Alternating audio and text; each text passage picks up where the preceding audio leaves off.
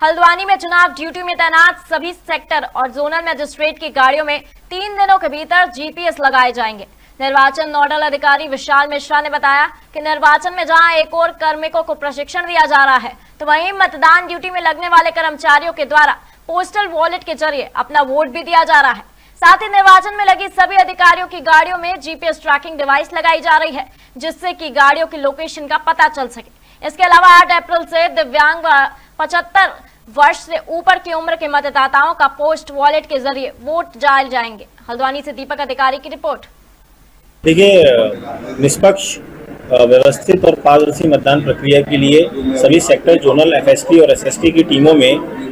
की गाड़ियों में जीबीएस डिवाइस लगाई जा रही ताकि उनकी रियल टाइम मॉनिटरिंग हो सके, कहाँ पर हैं और क्या कार्रवाइयाँ की जा रही हैं, उसको पोर्टल पे मॉनिटर किया जा सके। इसी के साथ साथ ये भी निर्देश है कि सभी विभाग सभी सेक्टर जोनल स्वयं से अपनी ज़िम्मेदारी से परिवहन विभाग की मदद से एम इंटर कॉलेज में जो कंट्रोल रूम बना है वहाँ से और रूम नंबर 26 से जो है जीपीएस लगवा लें।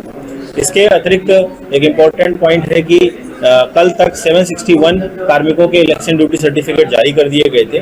और कल तक रामनगर जो विधानसभा है उसमें 220 पोस्टल बैलेट हो गए थे। और आज का जो डेटा है पोस्टल बैलेट का और ईडीसी का, वो जल्द ही आपके साथ शाम को अपडेट करके शेयर कर दिया